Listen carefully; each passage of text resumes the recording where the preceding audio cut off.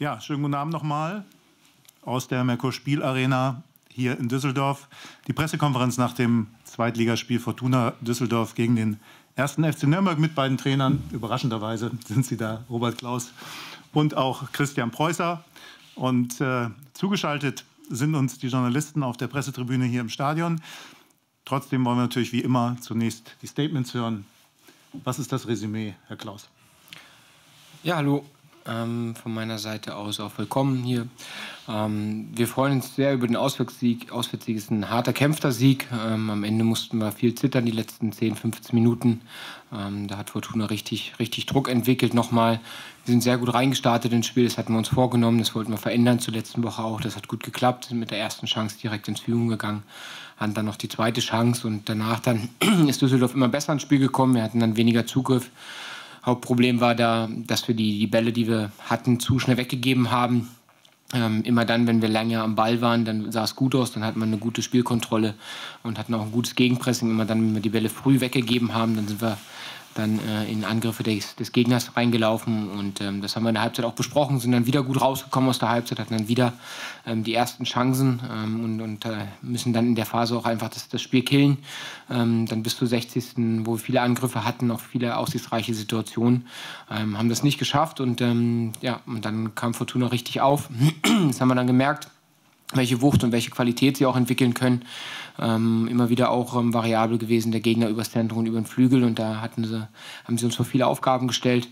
Ähm, am Ende haben wir es dann so geregelt, dass wir dann mit einer Fünferkette nur noch wegverteidigt haben, weil wir gesagt haben, wir, wir haben nicht das Gefühl, dass wir hier noch ähm, so viel Druck machen, um aufs Weite zu gehen, sondern es geht darum, das, das 1-0 zu sichern. Und das haben wir dann die letzten zehn Minuten dann gemacht. Ähm, das war dann okay. In Summe freuen wir uns sehr ähm, über den Sieg, ähm, auch über die, die Haltung, die wir gezeigt haben. Ähm, gerade dann in, in den Phasen, wo es mal ein bisschen schwieriger war, haben wir uns selber wieder rausgezogen. Ähm, das war gut. Ähm, ich wünsche Düsseldorf und vor allen Dingen auch Christian alles Gute. Ähm, es ist nicht einfach in der Situation. Wir, wir, kennen das vom letzten Jahr. Im Januar waren wir in der ähnlichen Situation. viel Druck da, wenig Spielglück. Das dreht sich auch mal wieder, wenn man, wenn man hart arbeitet. Und deswegen alles Gute und danke. Bis dahin auch Danke dafür. Und äh, ja, wie fällt deine Bewertung aus? Christian?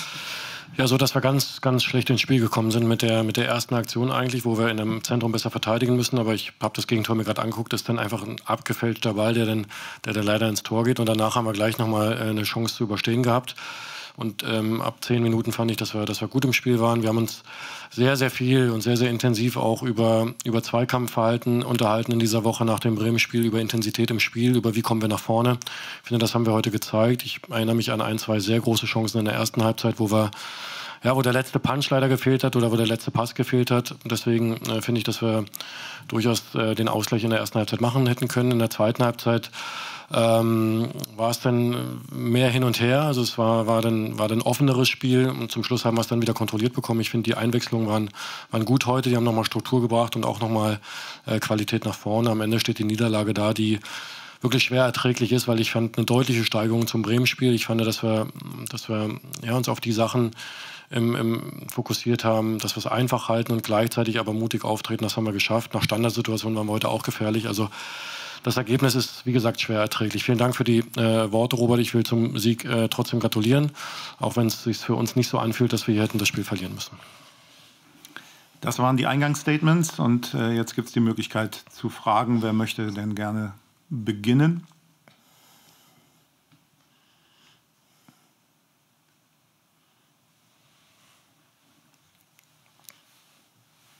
Ich kann jetzt keine Handzeichen sehen, deswegen müsste einfach einer mal loslegen.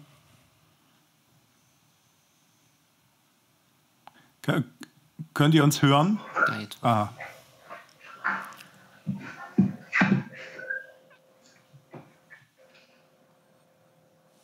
Wer fängt an? Das ist die große Frage. Die Handzeichen beim Wolfgang Glas.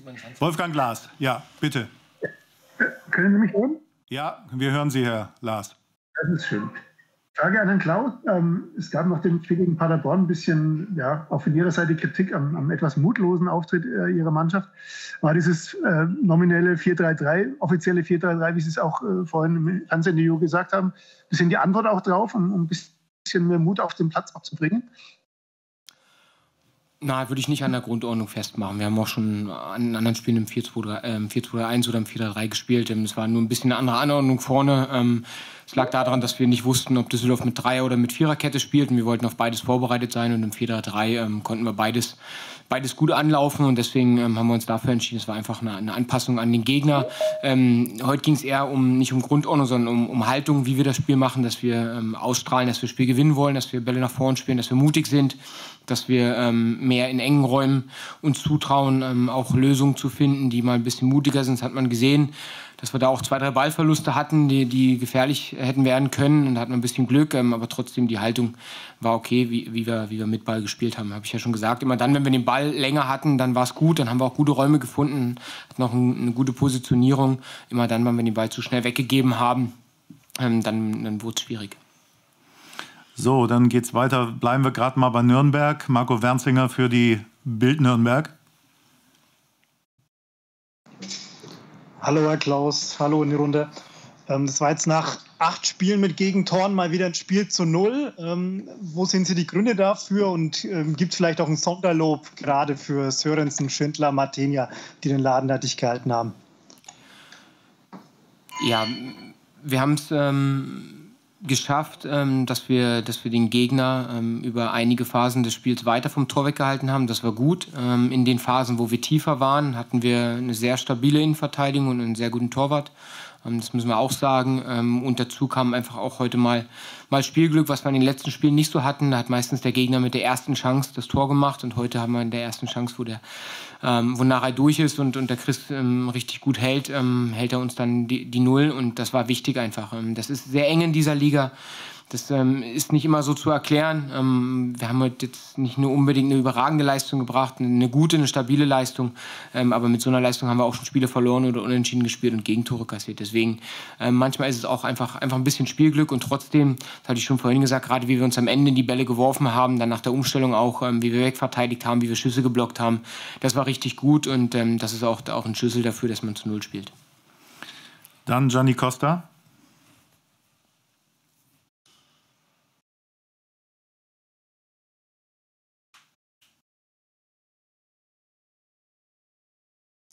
Hört glaube ich, nicht. Ähm, jetzt bin ich da. Eine Frage an Herrn Preußer.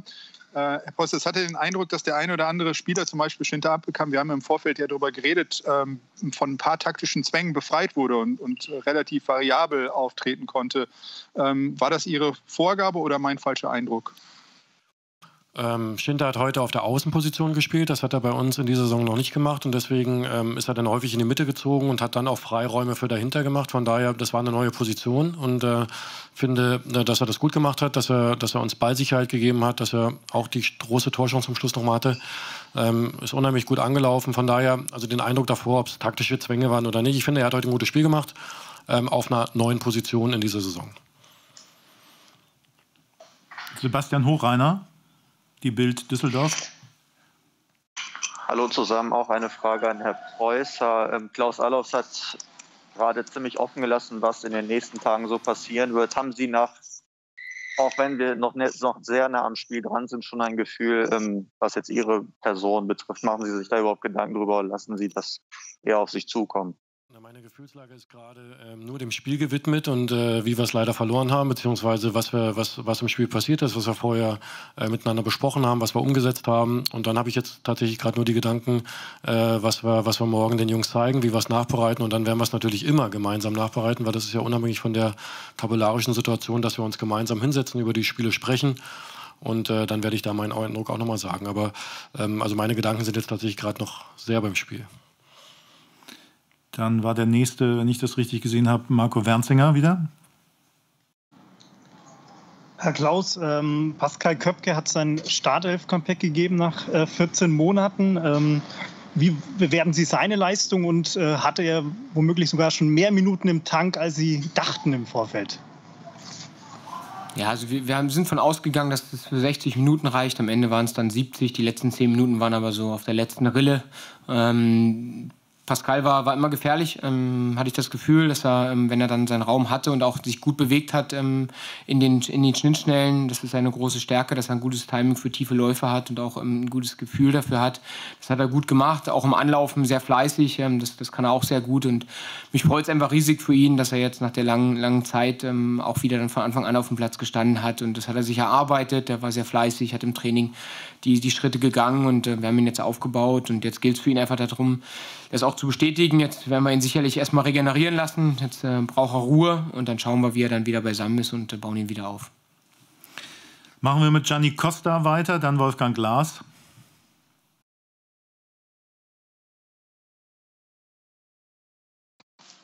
Ähm, Herr Preußer, können Sie vielleicht denn mal von Ihrer Seite aus schildern, wie Sie die äh, nächsten äh, Tage und Wochen geplant haben? Also speziell jetzt, äh, es ist ja jetzt ein bisschen mehr Zeit, um das eine oder andere möglicherweise dann auch zu intensivieren. Ähm, wenn ich das richtig eben rausgehört habe, gehen Sie ja davon aus, dass Sie auch diese Zeit, äh, dass Ihnen die noch zugestanden wird. Wie, wie planen Sie damit? Also was sind Ihre konkreten Pläne jetzt? Das erste Mal, dass Sie mich nach dem Spiel über die Pläne der nächsten Wochen fragen, aber ich kann gerne Auskunft geben. Wir haben morgen äh, unseren Nachbereitungstag, wo wir unterschiedlich belasten, wo die Jungs, die gespielt haben, regenerieren, die nicht gespielt haben, im Spielersatztraining äh, sind. Dann werden wir eine ganz normale Spielnachbereitung machen. Ob wir das schon mit Video machen, das werden wir dann heute Abend oder morgen früh im Trainerteam entscheiden. Und dann haben wir tatsächlich die Länderspielpause, viel Zeit zu trainieren. Wir werden auch ein Testspiel haben. Von daher, der Plan steht für die nächsten Tage und für die nächsten Wochen. Aber es ist kurios, dass Sie mich das jetzt nach dem Spiel so fragen. Naja, ich, ich, ich kann, Ihnen, kann, Ihnen, das beantworten. Die Frage ist ja darauf basiert gewesen, dass wir ja unsicher sind, wie halt eben die Zukunft aussieht. Und deswegen ist es natürlich, finde ich, durchaus eine legitime Frage zu fragen, wie die nächsten Tage und Wochen aussehen. Ich habe nicht in Abrede gestellt, dass die Frage legitim ist. Die ist voll legitim, aber ähm, äh, nee, also morgen geht's, morgen geht's weiter. Dann bitte die Nürnberger Nachrichten mit Wolfgang Glas.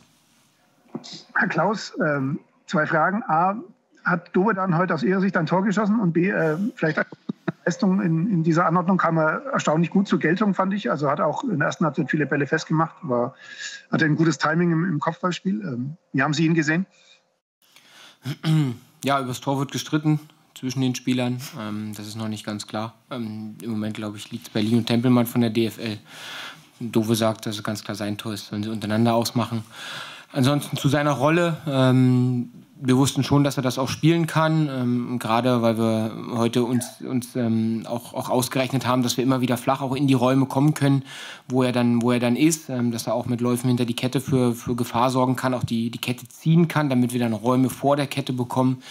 Das, das war die Idee dahinter und dass der Dove jetzt nicht das Schlechteste äh, ist in der Luft und auch robust ist, das wissen wir auch. Ähm, das, ist, das geht manchmal so ein bisschen unter, aber Dove ist ein, ist ein sehr, sehr robuster Spieler und der auch gut mit dem Körper arbeiten kann und der da auch ein gutes Timing hat. Und deswegen ähm, glaube ich, dass er heute die Position, die wir ihm dazu gedacht haben, hat er halt gut ausgefüllt. Wir machen weiter mit Patrick Scherer vom Express. Hallo, schönen guten Abend. Äh, eine Frage an Herrn Preußer. Ähm, ich fand, es war ein sehr kämpferisch guter Auftritt Ihrer Mannschaft, also besonders nach diesem äh, frühen Rückstand. Ähm, nun muss man aber doch sagen, die Zahlen sind natürlich immer die Zahlen. Ne? Es sind drei Spiele, ähm, null Tore, drei Niederlagen, zehn Heimspiele, fünf Niederlagen, nur ein Sieg. Was macht Ihnen da Hoffnung, dass Sie zusammen mit dieser Truppe den, den Bock doch noch umstoßen können und in dem Abstiegskampf bestehen können da in den nächsten Wochen? Da machen mir ganz, ganz viele Sachen Hoffnung. Ähm, ich teile Ihre Einschätzung, dass wir, dass wir heute sehr intensiv unterwegs waren, dass wir uns Torchancen gespielt haben, dass das ein guter Auftritt von uns war. Ich will daran erinnern, dass André Hoffmann jetzt seit langer Zeit wieder von Anfang an gespielt hat, der auch richtig an den Ketten gezogen hat, hat dem Spiel gut getan. Ähm, leider ist Emma Joa noch kurzfristig ausgefallen, ein bisschen muskuläre Probleme. Ähm, aber so vom, vom, vom Grundsatz finde ich, dass wir sehr intensiv aufgetreten sind. Und was macht mich zuversichtlich? So eine Leistung wie heute machen mich zuversichtlich. Wir brauchen natürlich den letzten Punch, wir brauchen Tore. Aber mit der Art und Weise können wir natürlich Tore schießen. Letzte Woche gegen Bremen war es schwer, ein Tor zu schießen, wenn wir so auftreten. Und von daher ist die Reaktion und die Herangehensweise und was wir heute gesehen haben in Ordnung. Aber ich verschließe nicht die Augen äh, vor den Fakten. Und ähm, ich glaube, wir haben jetzt auch dreimal hintereinander kein Tor geschossen bei den Spielen. Also das, das weiß ich natürlich auch, aber äh, das, das heute war, war in Ordnung. Aber es muss bestätigt werden und es muss dann auch mit Toren unterlegt werden. Der Express hat auch Moritz Fuß am Start und der ist jetzt dran. Ja, guten Abend in die Runde. Ähm, auch an Herrn Preußer meine Frage. Es gab gegen Ende des Spiels, haben die Fans auf den Rängen, äh, die wenigen, auch ihren Unmut kundgetan. Auch Ihnen gegenüber, das haben Sie vielleicht mitbekommen. Wie gehen Sie damit um? Was macht das mit Ihnen?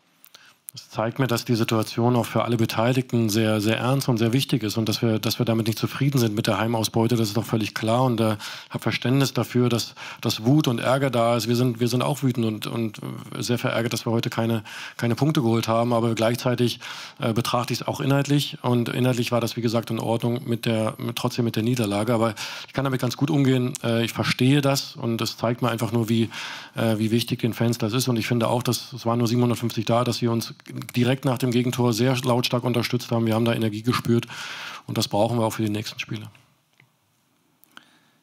Dann erkenne ich keine Wortmeldung mehr. Die Pressekonferenz bei den Trainern ist jetzt vorbei. Ich darf aber die Journalisten, die äh, Fortuna Düsseldorf bearbeiten, äh, trotzdem bitten, noch da zu bleiben. Klaus Allaus wird noch für äh, ein paar Nachfragen zur Verfügung stehen, auf diesem Wege dann. Vielen Dank an die Trainer. Guten Heimweg für den 1. FC Nürnberg. Danke, ciao. Schönen Abend noch. Tschüss, ciao.